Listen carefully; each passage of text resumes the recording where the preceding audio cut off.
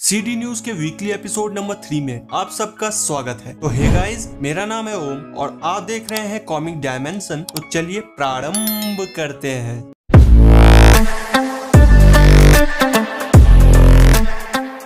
इस वीक की सबसे बड़ी न्यूज़ ये है, आप लोगों को दी सुसाइड स्क्वाड मूवी से बनी फ़ैन की नई क्रश रैड कैचर याद ही होगी तो जेम्स गन की upcoming Marvel movie Guardians of the Galaxy volume three में एक्ट्रेस डेनियला माइलक्वायर को कास्ट कर लिया गया है और इस चीज़ की कंफर्मेशन खुद डायरेक्टर और एक्ट्रेस ने दे दी है। अब इनका रोल कितना होगा, ये तो पता नहीं। वैसे अगर डीसी रैड कैचर के लिए फ्यूचर प्लान नहीं कर रहा है तो शायद हो सकता है कि ये एक्ट्रेस हमें मार्वल में लंबे समय तक नज़र आ जाए, या फिर हो सकता है कि जैसे मैंटिस का रोल प्ले करने वाली एक्ट्रेस पॉम क्लेमेंटिव का एक छोटा सा कैमियो था दी सुसाइड स्क्वाड में, वैसे ही हमें इस एक्ट्रेस का कुछ कैमियो काइंड ऑफ़ नज़र आ जाए। वैसे अभी हम इस पर कुछ कह नहीं सकते, बस इसका कैरेक्टर रैड कैचर की तरह क्यूट ही रहने देना जेम्स भैया। और कास्टिंग से याद आया एक्ट्रेस इसाबेल मर्सेट को कास्ट कर लिया गया है डकोटा जॉनसन की मैडम वेब मूवी में। वैसे जिन लोगों को ये नहीं पता, ये वही एक्ट्रेस है जिन्होंने Dora the Lost City of Gold में डोरा का रोल प्ले किया था। वैसे मैं तो मैडम वेब मूवी के लिए एक्साइटेड नहीं हूँ मॉर्वियस मूवी के बाद। बस इस मूवी को डकोटा जॉनसन की वजह से देख लूँगा। और अब ये कंफर्म हो गया है कि Doctor Strange in the Multiverse of Madness Disney Plus पर 22 जून को आ जाएगी। एंड अब कुछ रूमर्स के अकॉर्डिंग मार्वल वर्क कर रहा है स्टार फॉक्स के स्पिन ऑफ़ प्रोजेक्ट पर। हो सकता है कि ये स्पिन ऑफ़ चल भी जाए, क्योंकि इस मूवी में हैरी स्टाइल जैसा बड़ा नाम जुड़ा हुआ है। एंड बाकी ये कंफर्म नहीं है कि ये सोलो प्रोजेक्ट आएगी या नहीं। बट वैसे मैं कहूँगा कि इटर्नल्स को लेकर ऐसे फालतू के स्पिन ऑफ़ ना बनाए मार्वल मार्वल को एक बढ़िया सा इटर्नल्स का सीक्वल बनाना चाहिए। ऐसे स्पिन ऑफ़ शोज़ बना के कैरेक्टर्स को मिल करके बस स्टूडियो को सिर्फ़ फाइनेंशियल प्रॉफिट होगा और कुछ भी नहीं। मैं तो चाहता हूँ की ऐसे फालतू के स्पिन ऑफ़ को ना बना के मार्वल को इटर्नल्स की फ्रेंचाइज का जिम्मा क्लोएजाव को ही दे देना चाहिए। जैसे उन्होंने जेम्स गन को दे दिया है तो अब सीधा चलते हैं डीसी के न्यूज़ अपडेट्स पे। तो जैसा कि आप सबको पता ही है कि डीसी बड़े जोरों शोरों से वर्क कर रहा है। ब्लू बीटल मूवी पे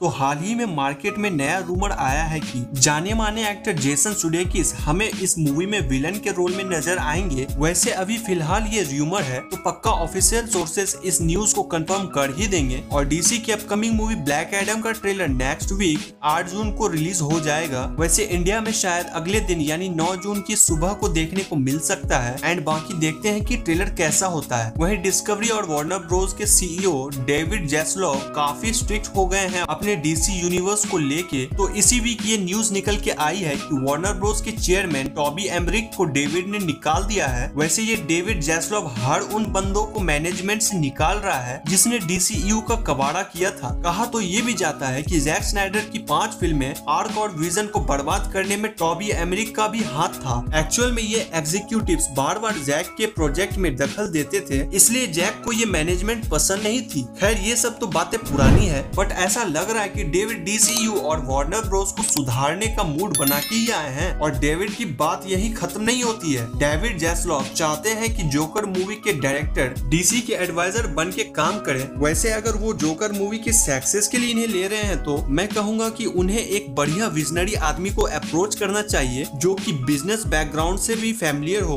बाकी देखते हैं कि क्या होता है। मुझे तो लगता है कि डेविड डीसीयू को स्टैंड पर लाकर ही रहेंगे। और साथ ही एक स्पेशल स्क्रीनिंग हुई थी दी फ्लैश मूवी की, जहाँ पर क्रिटिक्स ने इसको बस ठीक ठाक ही बताया है। वैसे दी फ्लैश मूवी पर कभी फुर्सत से बात करेंगे तो अब चलते हैं मेजर हॉलीवुड अपडेट्स पे। तो बैज लर्मन की अपकमिंग मूवी एलविस प्रेसली की बायोपिक को कांस फ़िल्म फेस्टिवल में दिखाया गया है। स्पेशल स्क्रीनिंग के तौर पे तो कांस फ़िल्म फेस्टिवल की स्क्रीनिंग पे एल्विस मूवी को 12 मिनट तक की स्टैंडिंग ओवेशन दी गई है क्रिटिक्स और एग्जीक्यूटिव्स के द्वारा। और कहा यह जा रहा है कि इस मूवी के हर एक एक्टर ने अपने कैरेक्टर को जिया है और सबसे ज़्यादा तारीफ़ मिल रही है टॉम हैंक्स और ऑस्टिन बटलर को। मतलब भाई, कुछ तो बात है इस मूवी में। सच कहूँ तो मैं इस मूवी के लिए पर्सनली बहुत ज़्यादा एक्साइटेड हूँ। और डिज्नी की upcoming Pinocchio live action movie का टीजर भी रिलीज़ कर दिया गया है, जो कि सीजीआई वाइज और प्रेजेंटेशन वाइज मुझे काफ़ी ज़्यादा अच्छी लगी है। और डिज्नी सिर्फ़ यही लाइव एक्शन नहीं बना रहा है। तो डिज्नी की अपकमिंग स्नो व्हाइट मूवी से Rachel Zegler as Snow White ये सेट फ़ोटोज़ निकल के सामने आई है। वैसे टीजर ट्रेलर में देखते हैं कि इसकी प्रेजेंटेशन कैसी होगी। और जॉन फेब्रो ने ये कंफर्म कर दिया है कि वो मैंडलोरियन के सीज़न फोर की स्क्रिप्ट पे काम कर रहे हैं। तो गाइस इस वीक की कुछ इतनी ही अपडेट्स थी। आई होप कि आप सब अपडेटेड हो गए होंगे। एंड अगर वीडियो अच्छी लगी हो तो लाइक करना चैनल पे नए हो तो सब्सक्राइब करना। मिलते हैं नेक्स्ट वीडियो में till then take care good bye